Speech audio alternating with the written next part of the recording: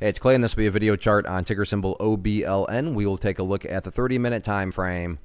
Real quick, what do I mean by 30-minute in case maybe you're new to charts? Instead of each one of these candlesticks here representing one day's worth of price action, which is what you would normally see, each one represents 30 minutes. So while this here may look like several days worth of time, it's actually today's price action broken down into 30-minute time slices. I like to this time frame. does a good job of telling the quote-unquote story of the price and then makes mapping out where levels of support and resistance a bit easier to see. I don't mean to state the obvious, but I will anyways. Very nice movement today, not only from the price action perspective, but you look down here at the volume and well above average volume on the day. So a lot of eyeballs on this one. So let's map out some areas of support and resistance going forward. First level of support is what I would call the ideal level. We've say, Clay, would make this chart look the absolute strongest going forward, and that would be if the price can stay up there above 64 cents. Now, don't get me wrong. If the price falls below 64, I am not saying the entire chart is destroyed or ruined or anything like that. But yeah, if the price can stay up above that level, that would definitely be a massive sign of power going forward. Taking a step back and looking at things from the bigger picture point of view, that is where the purple line comes into play, the 50 period simple moving average, keyword being moving. As time goes by, that line is going to eventually start to work its way higher and higher. So a very basic yet highly effective way to judge the health of the move that right there being defined as the move.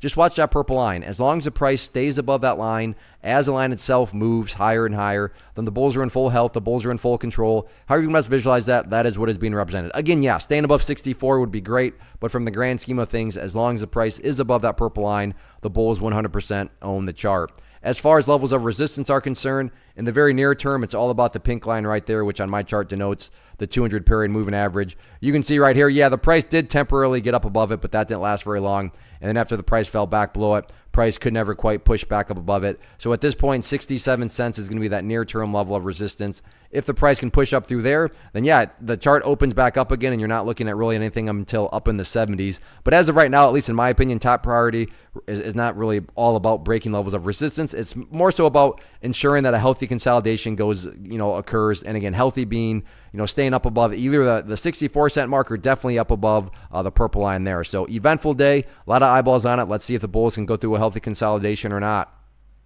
First off, thanks so much for watching the entire video. Real quick, before you go, I want to invite you to a live webinar, web class, training, workshop, online event whatever you want to call it, but it will be me live revealing to you what I've discovered that has allowed me to transform myself from being an employee to being my own boss, including how I had only one losing day out of 73 days in total. I'm going to cover three keys that have helped me unlock profitable consistency within the markets. The first key is super weird, but in a productive type of way. The second key is super awesome because it quite literally is wired into our DNA as humans, making it very easy to use. But in a cruel way, this becomes a pitfall for many traders. I'll explain it all though, including how to avoid the pitfall that it creates for some. And yeah, the third key, when you hear it, sounds way too good, way too good to be true, but it's not, and I'll show you how it all works. Then at the end, I open it up for a question and answer session that is, again, totally live. Even if you can't make the live session,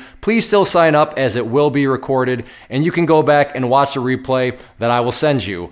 Click the image on the screen or click the link down in the description box so you can get the date and time and claim your spot, which I should note is limited due to the fact that this truly is a live event. If you have any questions, let me know. If not, I'll be seeing you soon.